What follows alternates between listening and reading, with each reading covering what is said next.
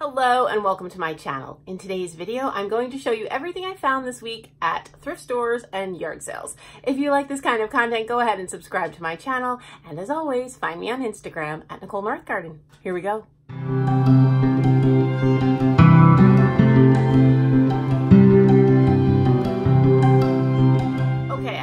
Mixed bag of a haul today. I have a few things that I found. Yard sales are pretty much winding down here, but I did um, stop at two sales this week and found a few things, which I'll show you.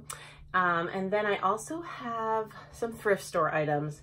And then I have some items that were given to me by a fellow thrifting friend and YouTuber. She is one of my very good friends. Her name is Amy over at White Lab House. I will link her channel down below. So I'm gonna show you some of the things that she got for me this week. Okay, let's start off. I have three things from the week that I'm going to list on my Etsy shop and then everything else you see um, will be for me. So I'm going to start with the things that I'm going to list. Okay, I found another frog. I thought he was really cute. It's a bank. He has his plug. I got him at Goodwill. I paid $1.99 for him and he's marked 1981. It looks like maybe someone, you know, I don't know, made him at a ceramics thing, but I thought he was pretty cute and people have liked frogs that I've put up, so I thought I would see if anyone wants him. And I like the glaze on him. I thought it was kind of pretty. Then I found two um, art pottery plates and I looked up this studio. It's called Chamberlain Art Studio. It's still open, um, but it's been around since the 90s. And from what I can tell and ones I saw on Etsy, these are from the 90s.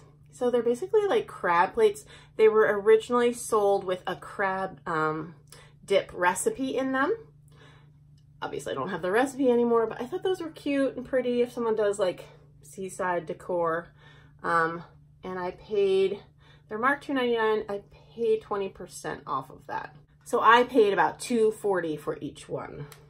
Okay, and that's all as far as what I'm going to list um, newly on my Etsy shop. Now I'm going to move on to the few things that I found at yard sales. This was the one thing I left in my car. I told you about it last week. It's just a big candy jar. It's not vintage or anything. It, I paid a dollar for it, but um, I got it because I'm going to use this to store, you know, I've been picking up like vintage trims and they're really pretty, but right now they're in a bin in the closet and I can't enjoy them that way. Um, I do use them also, so I thought maybe I could put um, most of them I think will fit into this size container and then I can also see them when they're not in use. I don't mind seeing some of my craft supplies because some things are just pretty. Uh, I'm not the type of person that needs to have everything like away and out of sight. I'm, I'm not a minimalist if you haven't noticed.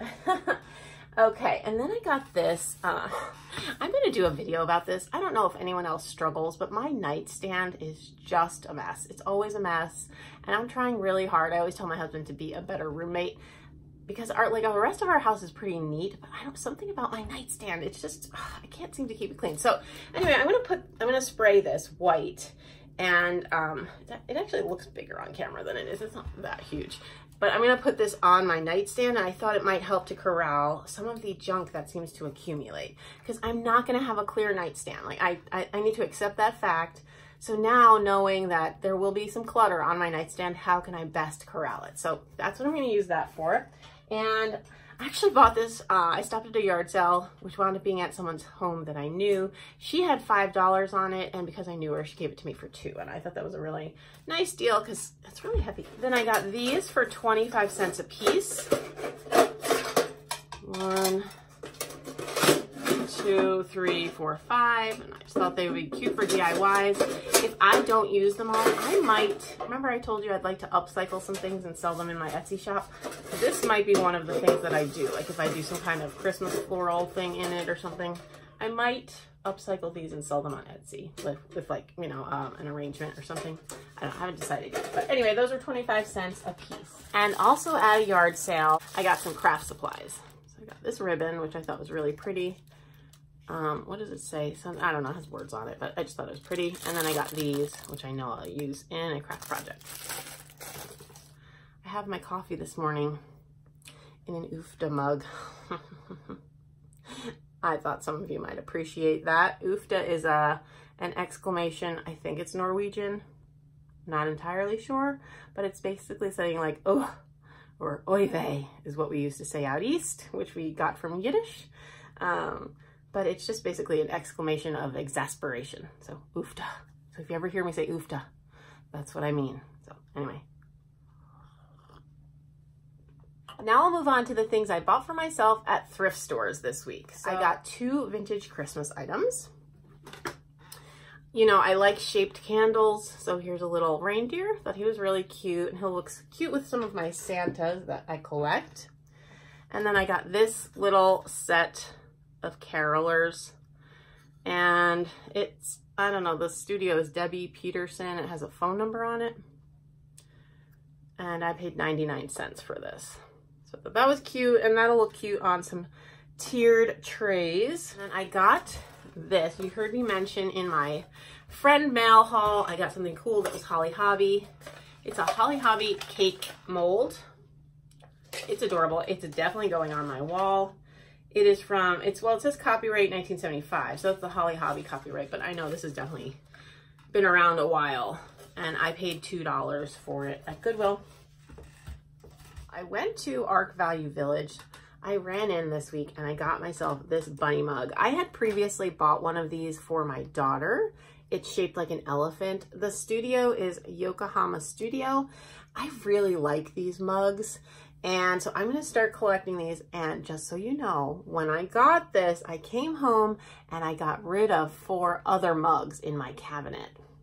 So I am keeping my collection corralled onto things that I like better because I think you should love the things that you have. And if you stop loving things, you should get rid of them. So I got rid of four mugs.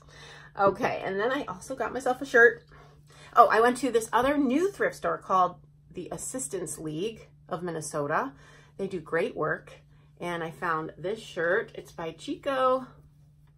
And their shirts were all half off the day that I went. So it was marked nine, which is a little bit much, but I paid 450, which I thought was really good. It's in really good shape and they do very good work. So I didn't mind paying a little more. I got this also at Assistance League. I showed this on my Instagram. I love deer and I haven't found any in a while. Uh, I especially love like flock deer. And so I have a little collection of those, um, which I'll put out for the fall. And I'm to put this little deer out with them. So I have a little woodland creatures thing going on in my fall decor. I'm gonna put this with those woodland creatures. And then this is by Rock Hard Pottery Studio and it has a phone number. It's a Minneapolis area code, so I'm guessing um, that's who made that. All right, and then also at thrift stores for myself, I got this little piece of pottery, um, ceramic, sorry. And you know, I, it's probably, it's a baby. It's for a baby, I mean. It's a stork, but I love the color and it goes with some of the other pieces. I just, I'm into like the pink glaze in this room. So, um, you know, this is a California pottery. It's not quite the same color, but close enough that I really like the way that they look together. So I got this to keep in this room. I will, I was going to put a succulent in it, but succulents need sun and where it is going to be, it's a little blocked from the sun. So I'm probably going to do some faux succulents in there. Okay, now I'm gonna show you what I got from other people. I'll show you what my friend Amy from White Lab House got me, but first I forgot. My friend Jonathan, um, he's one of my best friends, and he found this in his building. People were just getting rid of stuff. I love this frame. It's missing like its back here, but that doesn't matter to me. I'm gonna do something crafty with it. I just think it's really pretty. So that was for free. And then my friend Amy from White Lab House, she goes to the bins a lot. If you haven't seen her channel, you should. It's just starting up, but um, she's super sweet, one of my best friends. And so she found several things for me at the bins. She goes to the bins a lot, more than I do. And so because of that, she finds like really cool stuff. So she found for me these two wall hangings of ducks. I love ducks. You know, I love ducks, nature, birds. This one's my favorite. Look at the mama duck with the babies. So, so cute. So she got me those two items.